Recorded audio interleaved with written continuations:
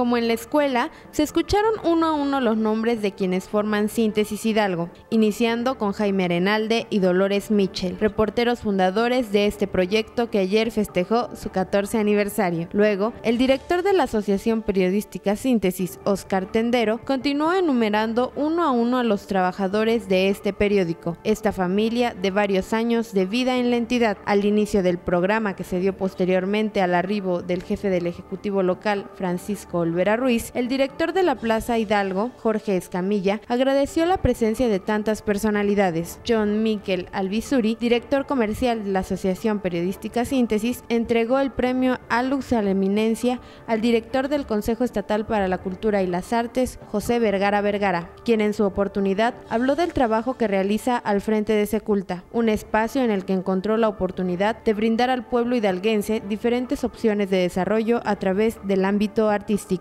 Elizabeth Sánchez Hernández, presidenta de Olimpiadas Especiales de Hidalgo AC, se hizo acreedora al reconocimiento Ángel de la Esperanza, otorgado por el director general Oscar Tendero. El gobernador Francisco Olvera, al hacer uso de la palabra, dio gracias al señor Armando Prida, presidente de Síntesis, por permitirle compartir este logro. Señaló también que los premios Alux y Ángel de la Esperanza tienen una gran trascendencia, además de que permiten reconocer a quienes destacan en la comunidad, a quienes han desarrollado una importante labor en los distintos ámbitos en los que se desempeñan.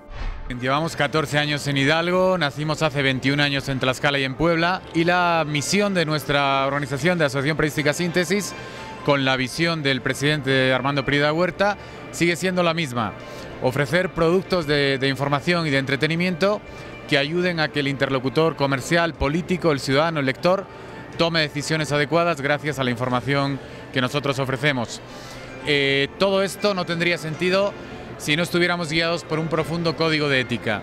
Eh, no hacemos cualquier tipo de periodismo, no sirve cualquier cosa. Contrastamos las fuentes, intentamos que la información que ofrecemos esté, sea absolutamente veraz, fidedigna y objetiva. Sin eso, no, tendría sentido lo que hacemos. Con información de Jorge Vargas, para Síntesis Hidalgo, Flor Martínez.